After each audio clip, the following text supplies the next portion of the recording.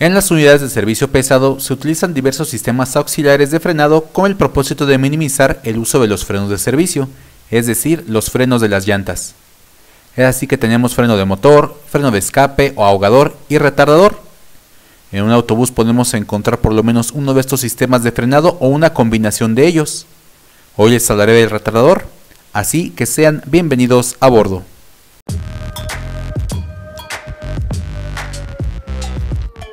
El retardador, retarder o ralentizador es un dispositivo que ayuda a mantener o disminuir la velocidad del autobús en pendientes prolongadas o situaciones de frenado constante en altas velocidades.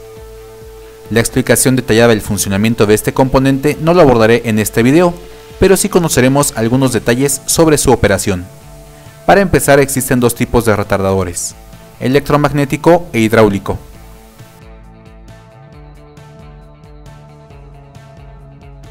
El retardador electromagnético trabaja mediante una corriente eléctrica que se envía a unas bobinas con una polaridad alternada, las cuales generan un campo electromagnético.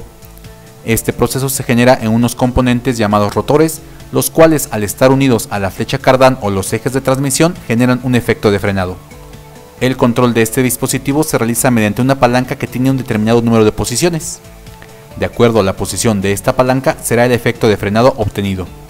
El principal fabricante de este tipo de retardadores es la marca Telma.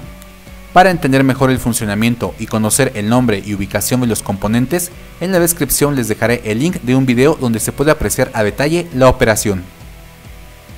Este sistema fue muy utilizado en la década pasada.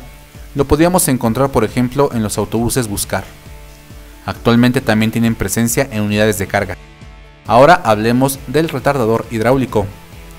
Este sistema consiste en dos estatores y un rotor que gira por medio de la caja de velocidades. Entre estos dos componentes entra una cantidad determinada de aceite que genera una especie de candado hidráulico, generando a su vez un efecto de frenado. La ubicación del retardador hidráulico es en la caja de velocidades. Para entender el funcionamiento de este componente podrán encontrar un enlace en la descripción del video, el cual explica su ciclo de trabajo. Cabe señalar que este es el tipo de ralentizador que usan marcas como Mercedes-Benz, Scania o Volvo. Para efectos demostrativos hablaremos del retardador que utiliza Scania y Volvo. Sin embargo, el principio de funcionamiento y operación es muy similar en todas las marcas. En la mayoría de las aplicaciones la palanca de control del retarder se localiza en la columna de dirección. En Scania por ejemplo, esta palanca también controla la caja de cambios como ya se los expliqué en otro video.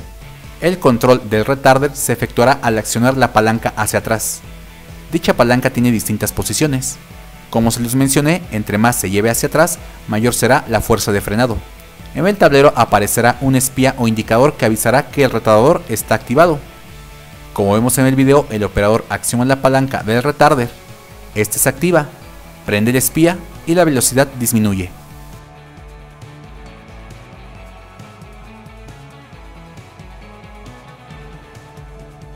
El sistema de Volvo se ha usado desde el modelo 7550 hasta su más reciente modelo, el 9800. Consiste en una palanca con posiciones y dos botones laterales que permiten aumentar o disminuir la velocidad de descenso programada y obviamente el nivel de frenado.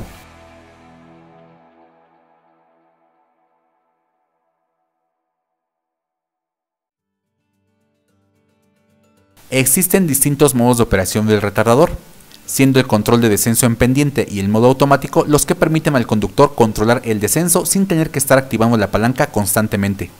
El modo de descenso en pendiente permite que el conductor programe una velocidad límite de descenso. Cuando el autobús alcanza dicha velocidad, el retardador se activará automáticamente con el nivel de frenado necesario para mantener la velocidad de descenso. Esta función es muy útil cuando se circula en pendientes muy prolongadas, pues evitará que el autobús se descuelgue. También se evita que el conductor presione el pedal del freno continuamente. En el video vemos cómo el conductor programa la velocidad de descenso a 83 km por hora máximo. En el display aparece la velocidad programada. Cuando el autobús rebasa esa velocidad entra el retardador, con lo que disminuirá o igualará a la velocidad programada. Noten que no se presiona el pedal del freno. El otro modo consiste en una operación mediante una leve presión sobre el pedal del freno, en este caso, el retardador se activará para disminuir el uso de las balatas y conservar el valioso aire comprimido que activa estos frenos. Es por ello que cuando viajamos hasta adelante podemos observar cómo el operador solo se encarga de controlar el volante. El uso de este componente aumentará la vida útil de las balatas, ya que el 90% de los ciclos de frenado se realizarán con el retarder, y los frenos de servicio se usarán solamente en situaciones de frenado no planeado.